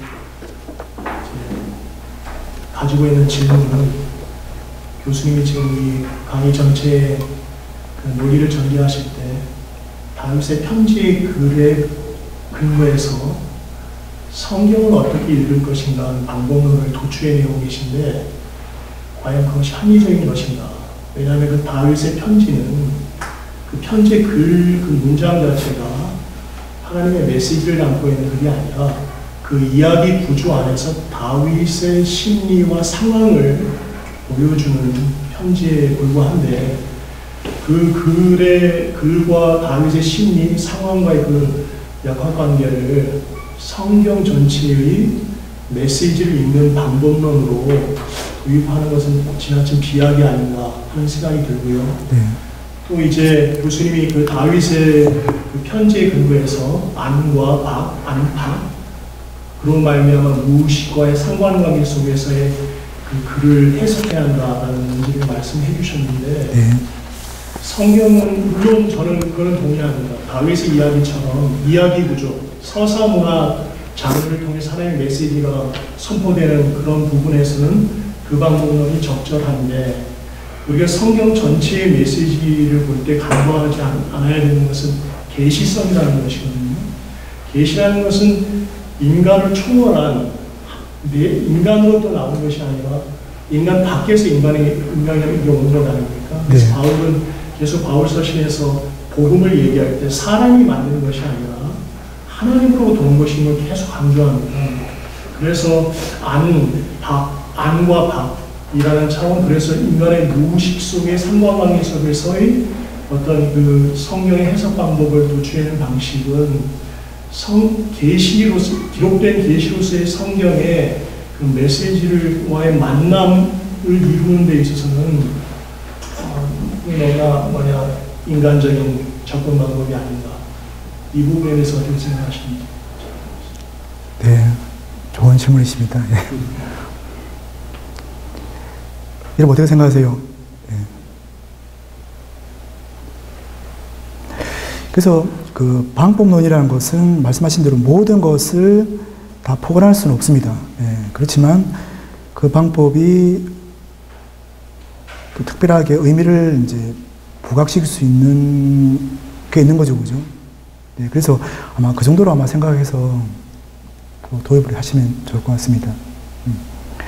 그리고 그 더 좀 더 나가면요, 근본적으로 어 그죠 계시가 우리가 그 말이 없이 그냥 하나님과 일대일로 그냥 뭔가를 짠 하고 받으면 될 텐데 하나님 계시가 말로서 전달이 된다는 거죠, 이제. 그죠? 그게 뭐 원문으로 전달되었던, 아니면 번역된 문자로 전달되었던 간에 전달된다는 거죠, 이제. 예, 그 안에서 한 바퀴 삥 돈다는 거죠, 이제. 예. 이제 그것이 또 문제예요, 이제. 한 바퀴 돌았기 때문에 우리가 그 한 바퀴 도는 걸 한 바퀴 또 펴야 되거든요, 이제요. 이해를 하려면. 그러니까 그게 이제 성경 해석의 문제죠, 이제. 한 바퀴 꼬인 거를 한 바퀴 어떻게 다시 풀을 것인가. 그럼 계시 자체는 꼬이는 거지 않습니까? 그죠? 그거 동의하십니까? 계시 자체가 꼬였다는 게? 뭐 그렇게 표현하기보다는 계시성과 음. 인간의 그 뭐, 뭐 심리적인 그런 기제와의 음. 상관관계 속에서 음, 이 말씀이 기록되었다는 부분은 저는 뭐, 네. 뭐 그걸 동의합니다. 그 부분은. 네. 그러나 이제 강조점이 음, 어, 계시성이라는 측면이 있지 않는가. 이거는 단순히 그 지금 이게 설명하는 네. 제가 말씀드린 네. 다윗의 편지를 음. 근거해서 말씀하신 그 논법을 넘어선 음. 그 하나님의 말씀의 특징성이 있지 않는가. 네. 말씀하신 대로 제가 제 의견을 강조한 게 아니라 다윗의 편지를 강조했지 않습니까? 그죠? 그러니까 상담도 그래요. 상담도 크게 보면 두 가지 상담이 있는데요. 하나는 의사 쪽에서 일방적으로 이렇게 치료법을 제시하는 게 있고 상담자가 뭘 원하는지 상담자를 들어봐서 상담자에 맞춰서 치료책을 제시하는 게 있거든요. 그러니까 성경 해석도 그렇습니다. 그러니까 귀납적이라 그러죠. 내가 가지고 있는 생각을 가지고 성경을 봐서 성경의 본문의 의도를 끄집어내는 게 있을 수 있고 본문 자체가 가지고 있는 거를 말씀하시는 거를 내가 어떻게 끄집어, 끄집어낼 것인지 갖고자 하는 그런 게 있지 않습니까? 그죠? 저는 오늘 이제 다윗의 편지를 제 생각으로 읽은 게 아니라 다윗이 가지고 있는 그 생각이 뭔가를 이제 끄집어내려고 한 거죠, 이제. 그죠? 물론 이게 방법론으로 했기 때문에 내 관점으로 다윗의 편지를 끄집어내느냐 아니냐 볼 수 있지만은 저는 제 생각보다는 방법을 가지고 다윗의 생각 자체를 끄집어내려고 노력했거든요. 어쩌면 이것도 다윗의 편지지만 크게 보면 이것도 하나님의 계시입니다. 이런 식으로 그런 식으로 말씀하시면 성경에는 하나님의 계시가 아닌 게 되게 많다고 생각하시는 것 같은데요. 이것도 하나의 하나님의 계시거든요. 이제 사무엘상 하면은 그 사무엘상에서 정하고자 하는 핵심적인 주제가 있지 않습니까? 예. 그 주제 속에 그 안에 있는 이야기들의 말씀들이 놓여져 있는 것이고 음, 근데 그 이야기의 말씀들은 그 주제 속에서 뭐냐 그 하나님의 메시지로서의 그 뭐냐 선포가 된 것인 것이 네. 그렇죠. 예. 그래서 저는 가장 중요한 거는 있지 않습니까? 아무리 방법론을 두고 한- 하더라도 방법론에 담겨 있는 방법 이전에 않습니까? 본문 자체가 가지고 있는 게 제일 중요하다고 생각합니다. 그래서 그걸 어떻게 잘 끄집어낼 것인가인데 그거는 도구가 없으면 못합니다. 여러분들 여기 오실 때 다들 어떤 도구로 오셨습니까?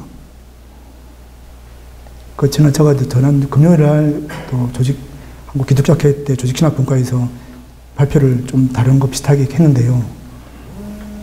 그러니까 이렇게 뭐 어려운 방법을 누가 질문하실 때 어려운 방법론을 가지고 하면 뭐 어떻게 사람들이 이해를 할 것인가 이렇게 또 질문하셨어요. 그래서 예수님보다 뭐 바울이 똑똑하지 하고 가면서 오늘날 이런 방법을 내줬던 학자들이 더 똑똑한데 이걸 뭐 이게 예수님이 듣는다 그러면 예수님께서 과연 일을 하실까 이런 거를 이제 그런 식으로 말씀하시더라고요. 그래서 제가 주말 동안 깜깜한 생각하다가 그런 생각이 들더라고요. 여러분들 여기 오실 때 어떤 분은 걸어 오셨을 테고 어떤 분은 지하철로 오셨을 테고요. 어떤 분은 버스로 오셨을 테고 어떤 분은 자가용 오셨을 겁니다. 근데 어떻습니까? 어떤 도구로 오든지 간에 중요한 것은 뭡니까? 내 자신이 왔다는 거고 내 자신 안에는 내가 이 강좌가 어떤 주제로 열리는데 그것에 참여하기 위해서 온다는 게 중요하다고 생각되거든요. 예. 그래서 우리가 뭐 그걸 이야기할 때막 버스를 타고 왔다는 것만 강조했지 않습니까? 90분 이야기하고 뭐 내용을 그냥 몇 프로 이야기 안 하면 문제가 되는 것처럼 그 강조되는 게 뭐냐가 중요한 것 같아요. 이런 도구를 가지고 하지만 하나님의 계시를 있지 않습니까? 밝히려고 하는 그런 의도를 가지고 하느냐, 그러면 이 도구성을 강조하느냐, 이제 그런 차이가 있을 것 같습니다. 자, 그래서 여러분들에게 그 글쓴 이와 있지 않습니까? 거기서 글을 배달하는 이와 그 안에서 안팎을 가르치는 어떤 악의 세력 문제와 이게 신약 전체에서 어떻게 마태복음 마태에서 어떻게 이해됐으며 또 바울에서 어떻게 이해됐는가 그죠? 정체성을 이야기했지 않습니까 그죠? 어 그런 거죠 그러니까. 성경 자체가 이 본문이 이야기하고 싶은 것도 있지만 이 본문이 전체와의 연관 속에서 뭘 이야기하고 있는가 이제 그거를 이제 파악하는 게 연결하는 게 중요하다고 생각되는데 어, 예. 그래서 그거를 연결할 때 이런 도구로 제가 계속해서 질문을 끄집어내었고 그 질문을 전체와 엮었는데요. 근데 그, 거긴 저 이제 어떤 상황이 다 다르기 때문에 상황은 이야기 안 했지만 어떤 저희 상황과 연결을 해서 했다 그러면 저도 이제 글을 다루는 지 않습니까? 사람이기 때문에 말씀하신 대로 내가 지금 다루고 있는 이 방법은 이 글은 나에게 지금 죽음을 주고 있는가 생명을 주고 있는가 내 나름대로 또 이렇게 판단해야 될 문제가 또 생기겠죠 이제. 예, 그거는 왜냐면 이런 건 하나의 과정이기 때문에 저는 이제 결과가 아니라 생각합니다. 우리가 건물을 칠 때, 뭐, 일본 말로는 그냥 아시바를 하지 않습니까? 아시바. 한국말로는 비계거든요. 비계 구조물이 하지 않습니까? 그죠? 아시바 구조물. 그래서 아시바 구조물이, 비계 구조물이 중요한지, 그 건물이 중요한지, 그죠? 건물 안에 살아갈 사람들이 중요한지, 예. 저는 그래서 이 모든 그 학문의 부차적인 문제들은 저는 이제 비계 구조물이라고 생각합니다. 예. 근데 비계 구조물이 없이는 그 건물을 지을 수도 없고요.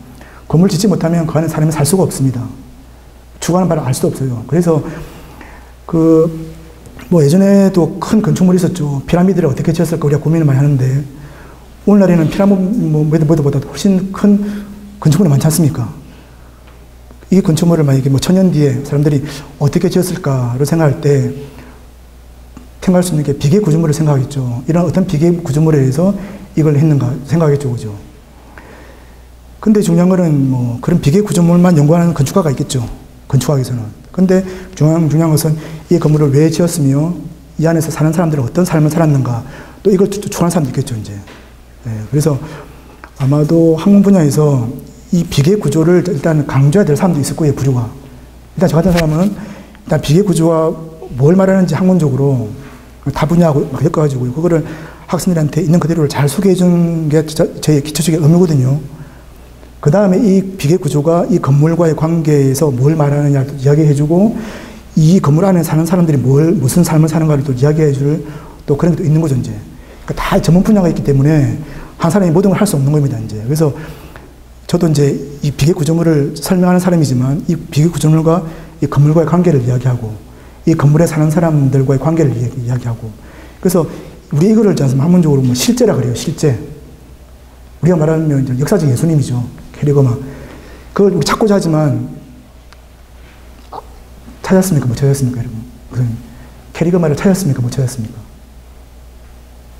캐리거마를 신앙을 하고 있죠. 예, 그걸 찾았습니까? 그게 예수님이 했던 말하고 똑같은 A는 A다라고 말할 수 있습니까? 그렇게 말할 수 있죠. 말할 수 있습니까? 그러면 예수님께서 아람어로 말하셨을 텐데, 아람어로 똑같이 말할 수 있습니까, 그거를? 성경에 기록되어 있는 그 네. 말씀의 근거에서 네. 속죄와 화해의 제물로서 죽으신 십자가 예. 그 사건과 네. 그리고 죽으신 3일 만에 부활하신 사건을 음. 통해서 하나님께서 약속하신 부활의 그런 복음, 그 진리 거기에 우리의 신앙의 근거를 두고 있지 않습니까? 그렇죠. 근데 이제 제가 말하는 거는 이제 캐리그만 말하는 거죠. 예수님께서 이렇게 말했던 복음서에 그런 예수님이 어려고 있지 않습니까? 그죠? 그런 게 잘 돼야지 말씀하신 그런 거다 연결되어서 될 텐데, 그죠? 그게 만약에 아니었다 그러면 그 말씀하신 그런 거 다 무너지는 거지 않습니까? 그죠? 그렇기 때문에 우리가 지금 실제, 예? 그걸 궁금하게 생각하는 거예요, 학문적으로. 이게 뭐 예수님의 캐리그만을 찾아가기 위해서 방법론을 뭐 역사 비평을 찾아가고 이게 나쁘다고 볼 수 있지만, 그게 어쩌면 있지 않습니까? 더 예수님과 가까이 가기 위한 노력이라고 볼 수도 있거든요. 순수한 마음이죠. 그게 학문적으로는 그렇게 하겠죠. 그렇지만 신앙적으로는 다 떠나서 그저 비계 기준을 다 걷어치우고요. 그냥 순수하게 신앙을 하는 거거든요, 학자들도. 근데 학문적으로는 그 비계 구조물을 설명해야 되는 거거든요, 이제요. 그래서 이 두 개를 구분해야 되는 문제가 있습니다. 그래서 될까요? 맞습니다. 예. 지금까지 우리는 이제 예를 들면 구속사적으로 해석을 한다든지, 그 다음에 유형론 쪽으로 해석을 한다든지, 그 역사, 역사과 성취를 해석하다든지, 그거는 이제 다음에 이제 나온 민법하고, 이전에 이제 기술, 기초적으로, 기성적으로 해왔던 그런 방법은 그것으로서 볼 수 없는 또 다른 방법의 비계, 틀을 지금 오늘 소개를 하니까 이것 방법 가지고 성경을 다 이 방식으로 해라. 그 말씀은 아니, 아니신 거니까. 예. 그러니까 이 텍스트, 이런 텍스트는 이렇게 방법도 해석할 수 있고, 또, 그, 이미 마태복음에서 얘기했던 약속과 성취의 구조에서도 볼 수도 있는 거고, 그러니까 성경 한, 성경을 해석하려고 하는 기존의 방법에 오늘 강권사님께서 새로운 방법을 또 하나 그러니까 소개하고, 이제 네. 교수님이 제시한 방법론이 네. 이 성경 안에 있는 이야기 혹은 제가 말씀드린 대로 서사문학이라는 그 장르 안에 있는 그 하나님의 말씀을 해석하는 데에는 저는 좋은 방법론이라고 봐요. 그 이야기의 역동성을 볼 때는 그러나 이 성경 전체의 메시지 우리가 계시라고 하는 이 하나님의 복음을 읽는 데에는 과연 이 방법론이 뭐 적합한 방법론인가 제가 그 부분을 얘기 말씀드린 거고 네.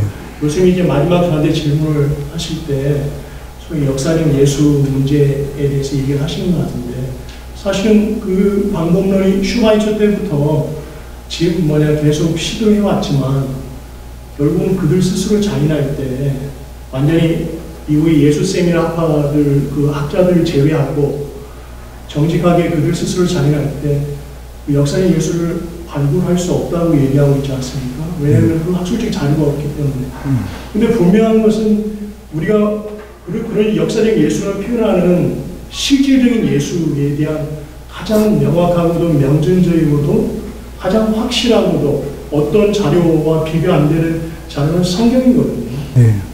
그러면 우리 성경의 말씀을 성, 성경의 말씀의 진정성을 파고, 파고들어 이제 성경에서 얘기하는 모든 것을 자기적으로 이렇게 해체하고 나서 다른 어떤 성경에서 얘기하는 예수와는 다른 예수가 실질적인 예수라는 가정을 두고 그 자료도 없음에도 불구하고 그 방식으로 나가는 학문의 방법은 저는 볼때 공허하는 것이 아닌가. 맞습니다. 그래서 저는 네.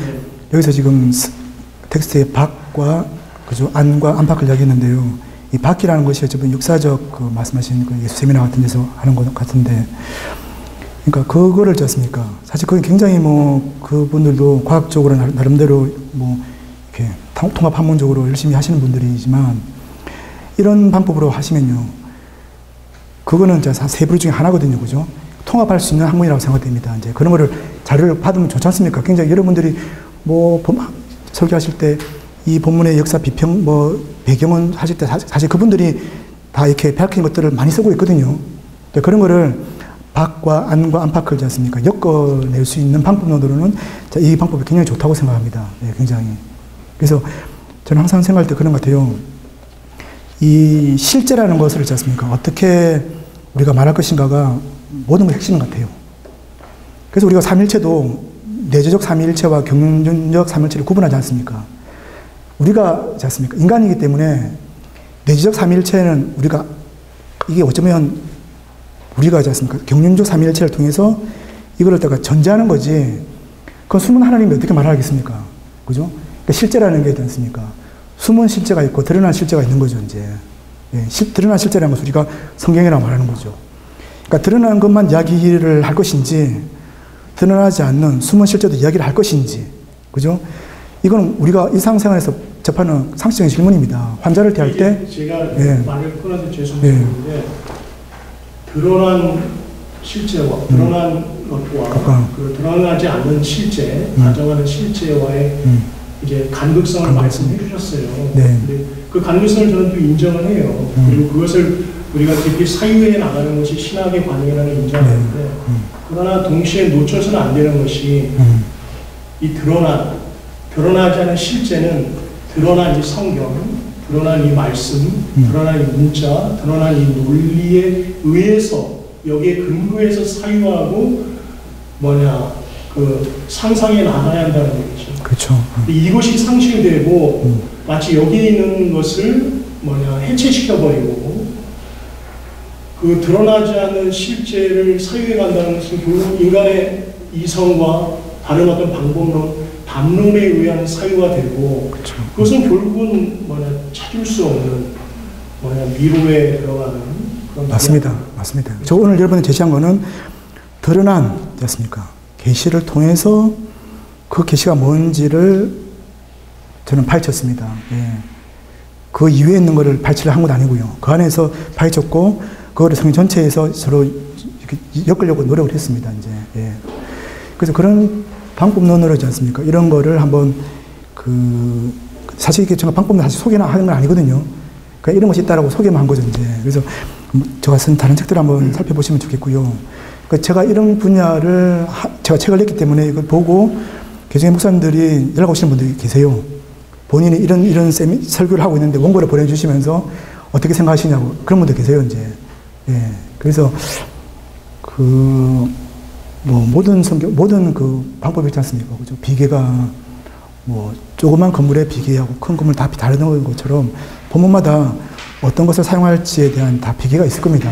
예, 그래서 이 본, 이런 비계를 사용할 수 있는 그 본문을 택해서 정말 거기서 그 계시된 하나님을 정말 잘 알고 그죠? 내 삶에서 적용할 수 있다고 그러면 좀이 본문 이런 방법론을 사용하고 또 다른 거는 또 다른 걸 하시면 되죠 이제 그래서 이런 다양한 비계를 이제 갖게 된다면 그만큼 좀 이렇게 새롭게 본- 보는 거죠 이제 새롭게 본다는 것은 그 새롭게 설명하는 거지 않습니까 새롭게 설명하는 거. 뭐 그 안에는 실제는 똑같은 거지 않습니까? 그죠? 실제는 똑같은데 실제로 어떻게 접근하느냐 문제인데 그래서 저는 그 성경으로 도- 돌아가자라는 그 제목으로 지난 금요일 날 발표했는데요. 성경으로 돌아가자는 그 루터 같은 말도 그렇고 오늘날 우리도 그렇고 우리도 지금 계속 하는 말이 성경을 고민이 그렇지 않습니까? 성경을 읽어도 새로운 의미가 안 나올 때가 정말 가- 가- 갑갑하지 않습니까? 어, 이거 지난주에 설교했는데, 1년 전에 설교했는데, 그, 끝내보니까 똑같은 의미예요. 좀 바꿔보고 싶은데 바꿀, 안 난다는 거죠. 그래서 또 설교했어요. 교인들은, 아, 저거 몇 며칠 한 건데, 그렇게 바란다는 거죠. 그왜 있지 않습니까? 한 본문을 가지고 다른 의미로의 설교를 할 수 없냐는 거죠. 저는 그 젊을 때, 어릴 때 그런 그 경험 많이 했거든요. 제가 중고등학교 때 다니면서 이제 그 하여튼 담임 목사님 설교 드리면 전사님께서 아이고 우리 목사님 또 지난번에 또 하시던 설교 또 하신다고 이렇게 말하는 거예요. 우리는 잘 모르죠. 예. 왜 하나님의 말씀을 지 않습니까? 그렇게 한 부분을 가지고 백번 다르게 설교를 못 하냐는 거죠.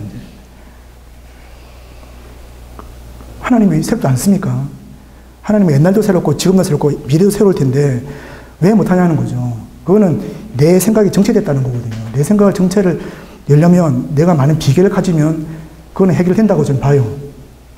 많은 비결을 가질 수 있도록 그렇게 노력하는 게 있지 않습니까? 실제와의 관계에서 다양성을 갖는 그런 방법이 아닐까. 인간이기 때문에 그런 거죠. 오늘도 돌아가실 때 저는 이제 오늘 전철로 와- 왔지만은 전 평택에서 왔는데요. 돌아갈 때는 제가 이제 기차를 갈 수도 있고요. 버스로 갈 수도 있습니다. 다양하게 갈 수 있다는 것 때문에 안심이 되죠, 이제. 근데 옛날에 예수님 같았으면 걸어와서 걸어가실 거 아닙니까? 그죠? 오늘날 다양성이 있기 때문에 정말 다양한 것들을 통해서 그 실제에 도달하려고 노력. 아마 이것들이 좀 항문이 그 바라는 것- 것일 테고요. 그래서 현실을 좀 더 풍부하게 하려고 하는 노력이 아닐까. 그래서 거기에 서로 어울려질 때 굉장히 좀 새로움이 뭔지를 서로 경험하고 정말 성령님께서 새로운 것에서 역사하지 않습니까? 그죠? 마음이 열리니까 일단요. 마음이 열리니까. 예. 그래서 그런 거를 위해서라도 한번 여러분들이 뭐 새로운 방법론을 좀 접해보시면 좀 이렇게 마음을 열고 한번 해보시면 좋지 않을까 생각합니다. 좀, 좀, 진짜 좀 쉽게 좀 질문하겠습니다. 예. 어, 우리가 성경을 갖다가 이제 뭐 성령의 인도에서 성령의 감동에서 이렇게 보통 얘기하잖아요. 네. 그러면 성경 해석을 전체 해석을 아까 여기서 얘기했던 그뭐 다윗의 얘기라든가 이것도 과연 좀 성령의 감동에 있어서 이제 필요가 있었겠느냐 뭐 그건 물론 여러 가지 의미를 어, 추출할 수도 있겠지만 그러나 이제 최근에 보면은 이슈가 됐던 거는 그런 이제 그 총신에서 이제 그 얘기할 때 거기는 이제 여자 목사들을 안수를 안 한단 말이에요. 뭐 바울 여자들은 교회에서 정당하라 이런 올 공부를 해나 안 되는데 그러니까 반발하더라고요. 이게. 네. 그거는 뭐 옛날에 어? 예. 옛날 그 원시 시대 해석이가 이런 식으로 하면서 그런 해석을 갖다가 진짜 성경 전체를 갖다 그러면 교수가 뭐라고 했냐면은 그럼 성경은 부분적으로 이거는 하나님 말씀 이거는 하나님 말씀이 아닌 걸 해석해야 되냐 이렇게 이제 반론하면서 싸우는 거 이렇게 한 붙은 적이 있었어요. 네. 그럼 지금 로원도 역시 이제 그 성경을 읽는 방법에서 그냥 이슈가 되는 부분 바로 그것 같아요. 과연 그럼 어떻게 성경을 할 것이냐, 성경의 권위를 어디까지 인정할 것이냐. 성경이 하나님 말씀에 되려면 두 가지 해석이 있을 수 없는 거 아니에요. 성경 말씀은 뭐 주방부호하다. 이렇게 되면은 다른 해석이 있을 수 없는 거 아닙니까, 이게. 네. 문자 그대로 해되는 거고. 음. 그러나 이제 그 문자의 의미를 또 시대가 가면 또 문자들이 바뀌기도 하는데 옛날에 어떤 저자의 입장에서는 그 당시 그 문자의 의미로 썼는 부분은 과연 뭐냐? 네. 그럼 그 시대 따라 변하는 거냐? 그렇죠. 하나님의 마음이 뭐 이게 예, 마음이 변하는 거냐 아니면 우리 해석이 변하는 거냐? 네. 이런 부분에 대한 그 구체적인 좀 어, 이해가 됐으면 좋겠네요. 그렇죠. 아마도 그런 궁금증이 아마 이런 강의를 통해서 생겼을 거예요. 그죠. 당연히. 물론 뭐 옛날부터 해오셨을 텐데요. 우리 회장님께서 다 지금 강의 계획하신 것처럼 이제 다음 다음번 되면 이제 교회론 나오지 않습니까? 교회론. 이제 교회론에서 그런 이야기를 하- 해주시겠죠. 그죠? 성경 해석에 대해서 교회론에서 해주시겠죠. 그때 아마 그런 질문들에 대해서 아마 잘 아실 것 같습니다. 예. 네, 그러면 제가 기도하고 마치도록 하겠습니다.